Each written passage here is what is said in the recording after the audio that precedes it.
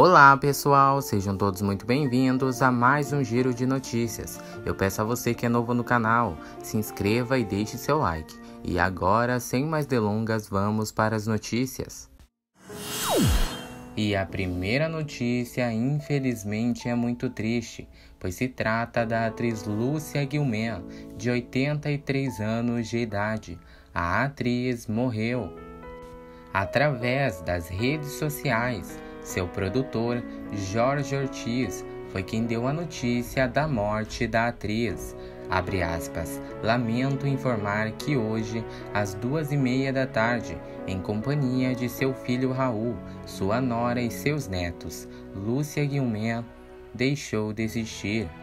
Desejo à sua família uma demissão rápida. Minhas mais profundas condolências. Descanse em paz, Lúcia, disse seu produtor. Lúcia era irmã do ator João Ferrara e também de Esther Guilherme, junto com o comentarista esportivo Raul Urbananos. Ela permaneceu unida no casamento e teve um filho que sobreviveu. A atriz trabalhou em artes cênicas participando de cinema, teatro e televisão.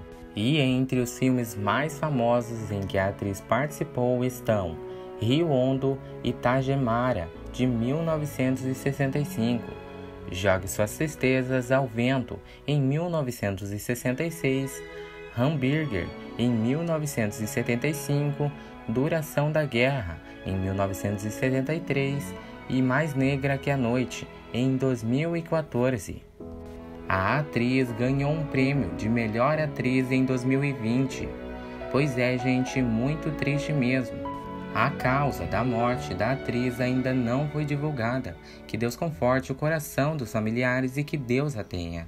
E agora vamos para uma próxima notícia.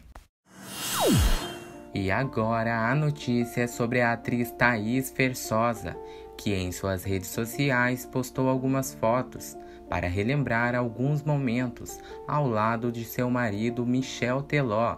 Eles que estão completando nove anos de casados e a atriz resolveu fazer uma homenagem.